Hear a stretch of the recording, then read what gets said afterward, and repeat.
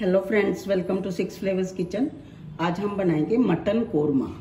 Please हमारे channel को subscribe कीजिए और बेल आइकॉन बटन भी दबा दीजिए ताकि हमारे हर वीडियो की नोटिफिकेशन आपको मिल जाए। उसके लिए मैंने लिया है एक किलो मटन। उसमें मैं डाल दूँगी एक कप दही। पहले हम मटन को मैरिनेट करके रखेंगे। इसमें हम डाल देंगे नमक हल्दी गरम मसाला लाल मिर्च तीखे वाली। एक एक चम्मच जीरा पाउडर।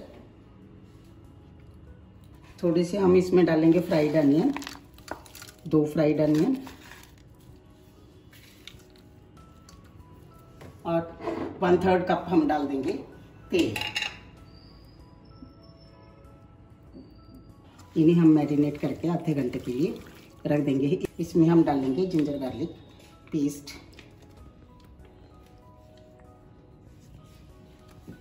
और अपने मटन को मैरिनेट करके हम आधे घंटे के लिए छोड़ देंगे।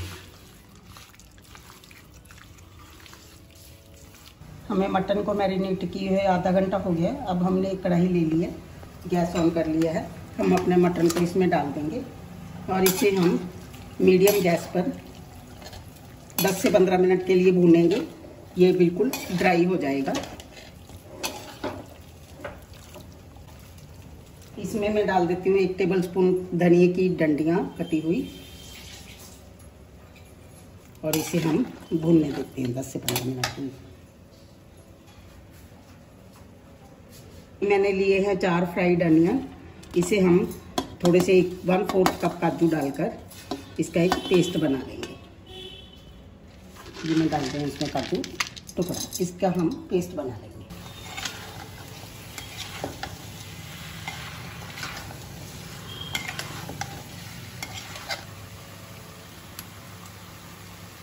हमें मटन को भूनते हुए 10-12 मिनट हो गए हैं। अब हम अपने फ्राइड अनियन काजू जिसका हमने पेस्ट बनाया है, ये इसमें डाल देंगे। और इसे एक दो मिनट के लिए और भून लेंगे।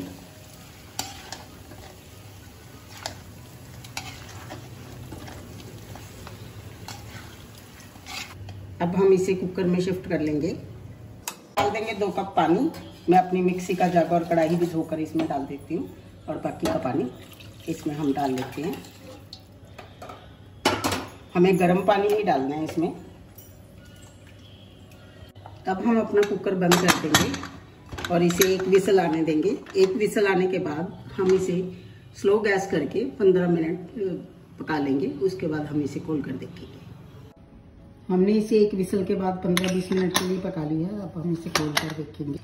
हमारा मटन कोरमा बन के तैयार है। इसमें हम डाल देंगे कटा हुआ धनिया। और दो तीन स्लिट की हुई ग्रीन चिलीज। इसमें हम डाल देंगे एक चम्मच गरम मसाला और इसे मिक्स कर देंगे। हमारा मटन कोम्पा बन के तैयार है। आप भी इसे ट्राई कीजिए और अपना एक्सपीरियंस हमारे साथ शेयर कीजिए।